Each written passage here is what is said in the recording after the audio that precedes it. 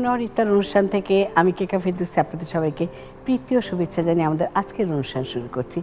প্রতিদিনকার মতো আজকের অনুষ্ঠানে আমি একটা নতুন খাবার যা ইফতারিতে আপনারা তৈরি করতে পারবেন, আগামীকাল বা তারপরের দিন তৈরি করে দেখাবো। আর সেই সাথে আমাদের অনুষ্ঠানে আজকে আমাদের একজন অতি প্রিয় মানুষ এসছেন, যিনি আমাদের আজকের অতিথি হয়ে এসছেন। নায়ক নায়িকারা আসলে আমাদের স্বপ্নের মানুষ। আমাদের সেই স্বপ্নের নায়িকা হলেন সুজাতা। আপা আপনি দেখছেন তো আমাদের পিছনে লেখা আছে ভীম মনোরুত্তর একুশ বছরে একুশ বছরে আমাদের অনুষ্ঠানটা পা দিয়েছে। আপনার কেমন লাগছে আজকে এখানে এসে? আমার তো খুব ভালো লাগছে কারণ ছিমছাম একটা রান্নাঘর। আর মেয়েদের হয়েছে কি রান্নাঘরটা কিন্তু তাদের পছন্দ। মানে আমাদের মানে এখনকার মেয়েদের কথা আমি বলতে পারব না। আগেকার যারা গৃহিণী আমাদের মতন যারা মেয়ে- মেয়েরা তাদের কিন্তু রান্নাঘরটা খুব পছন্দ। গৃহিণী কাম তো অনেক কাজ করতেন নায়িকা ছিলেন তাই না? শুধু তো আপনাকে গৃহিণী বললে হবে না তাই না? কিন্তু আপনি সবসময় বলেন আপনি অনেক ধরনের খাবার রান্না করতে জানেন এবং রান্নাটা আপনি পছন্দ করেন। সারা জীবনই করেছেন এখনও করেন তাই না? হ্যাঁ। এখন নাতিদের জন্য ছেলে ছেলের বউয়ের জন্য করেন আগে স্বামীর জন্য করেছেন। আপা হ্যাঁ। আমরা ওখানে চলেন রান্না করি রান্না করতে করতে কথা বলব। ঠিক আছে। আপা চুলায় আমরা তেল গরম দিয়েছি। এখন আমি একটা বাহারি পেঁয়াজু তৈরি করব। পেঁয়াজু তো আমরা রোজার সময় অনেক রকম হ্যাঁ, করি কিন্তু এটা হ্যাঁ, বাহারি। আর বাহারি বলছি নানা কারণে এটার মানে মেন জিনিস হলো টক দই দেব হ্যাঁ? কিন্তু এটার সাথে আরও অনেক কিছু দেব। টক দইটা একটু পানিটা ফেলে নিয়েছি যেহেতু বলছি বাহারি পেঁয়াজু পেঁয়াজ তো দিতেই হবে। পেঁয়াজ। পেঁয়াজ দিচ্ছি আপা।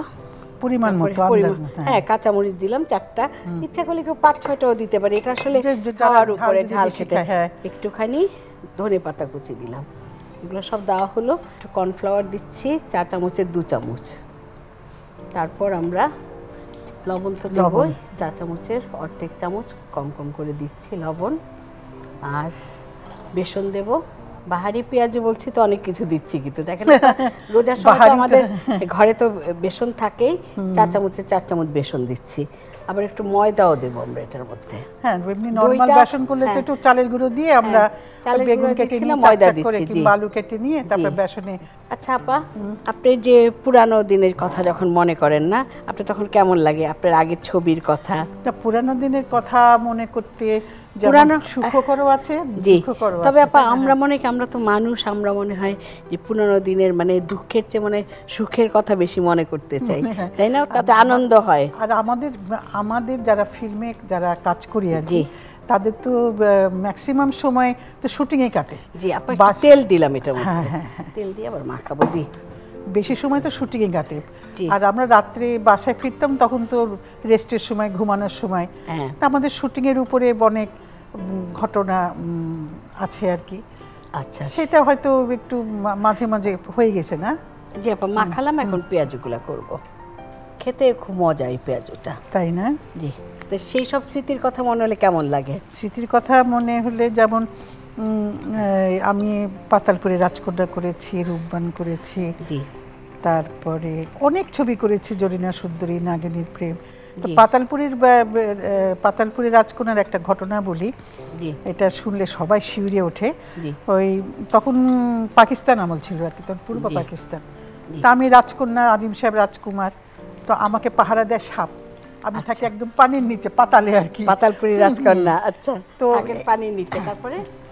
তারপরে মিজান ভাই মানে ইবনে মিজান ছিলেন পরিচালক আর কি। তো মিজান ভাই বলল কি সুজাতা আমাদের এই সাপের একটা দৃশ্য আছে আমাদের পাকিস্তানে যেতে হবে পশ্চিম পাকিস্তান লাহোরে যেতে হবে। সাপের জন্য সাপের দৃশ্যের জন্য? হ্যাঁ। তারপরে তো আমি মনে করছি কি সাপ এটা পাওয়া যাবে না বলে না। তাছাড়া গেলাম যাওয়ার পর ওখানে মেকআপ রুমে তখন পাকিস্তানের সালোনি দিবা এরা সব মেকআপ টেকআপ করছে। তারপর আমাকে মেকআপ টেকআপ করার পর আমাকে একটা সেটে নিয়ে গেল বিরাট একটা সেট তা আমি বলছি সাপ? কয়টা সাপ? বলে বেশি না কিছু না অল্পই। আজিম সাহেবও জানতো না। আচ্ছা কয়টা সাপ হ্যাঁ? আমাকে যখন নিয়ে গেল সেটে সেটা বিরাট দরজা সিংহদ্বার যেটা বলে না সিংহদ্বার আর কি। জি। খুললাম খোলার পর দেখি কি একশো আটটা সাপ। আ তারপরে কি করলেন আপা? ফ্লোরে সাপ বেডে সাপ সব জায়গায় সাপ? সব জায়গায় সাপ। তার যে একটু কয়টা সাপ আমি না, বলে একশো আটটা। আচ্ছা। তার যে এটা যদি কম হয় তাহলে বেশি কোনটা? তারপরে বলল যে তুমি কিন্তু শুয়ে থাকবে তোমার গায়ের উপর একটা অজগর সাপ যাবে। আচ্ছা তারপরে? আচ্ছা ঠিক আছে। আমি একটা একটা করে উঠি আচ্ছা। আপনি বলেন হ্যাঁ। তো ঠিক আছে আমি তো শুয়ে থাকলাম। রাজকন্যার ড্রেস পরে আপাতত তখন চুল বড় বড় ছিল কেয়াতে ভিতর দেখছ কিনা জানি না। আপনার বড়- ছবিতে দেখেছি যে বড় বড় চুল। বড় বড় জি তারপরে? তা আমি শুয়ে রয়েছি তা সাপটা ছেড়ে দিছে।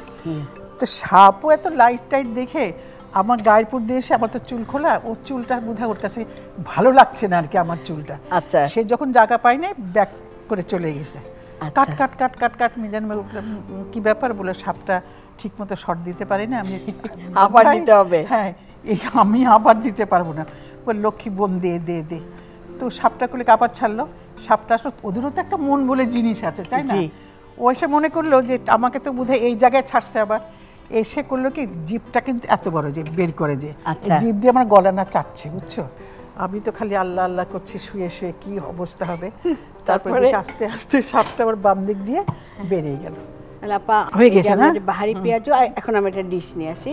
দেখতে তো ভালো লাগছে মানে টক দই আছে অনেক কিছু আছে তো আসলে দেখতে তো ভালো লাগবে। গরমটায় আমি তুলছি। তুলে চলুন একটু সাজিয়ে তারপর আমরা দেখাবো। যে জিনিসটা দেখতে ভালো লাগে সেটা কিন্তু খাওয়ার জন্য মানুষ সেটা আগ্রহ প্রকাশ করে বেশি। এটা দেখেন খুব বেশি কিছু করলাম না।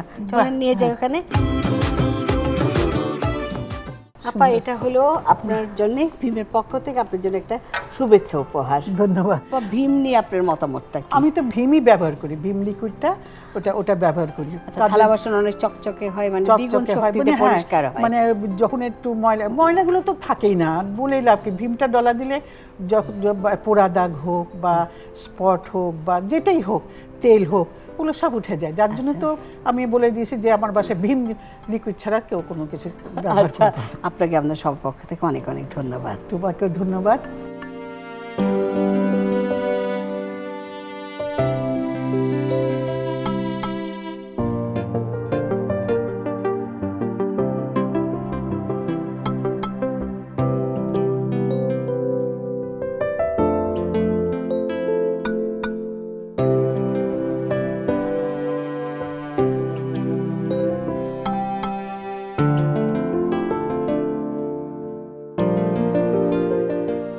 আজ আমি এখানেই বিদায় নিচ্ছি অনুষ্ঠান থেকে। আবার আগামীকাল সবার সঙ্গে দেখা হবে। খুদা হাফিজ।